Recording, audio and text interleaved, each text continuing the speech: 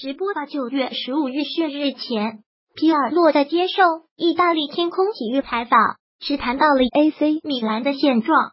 皮尔洛在采访中表示，AC 米兰是自己最喜欢的球队，并希望米兰在马尔蒂尼和莱昂纳多的带领下重返巅峰。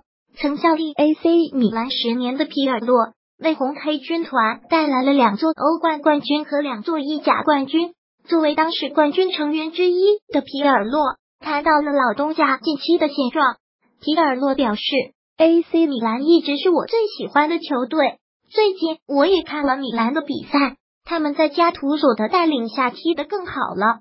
我最喜欢的球队架构就是由意大利年轻球员和国外一些富有经验和能力的球员所组成的。现在的 AC 米兰就是这样的。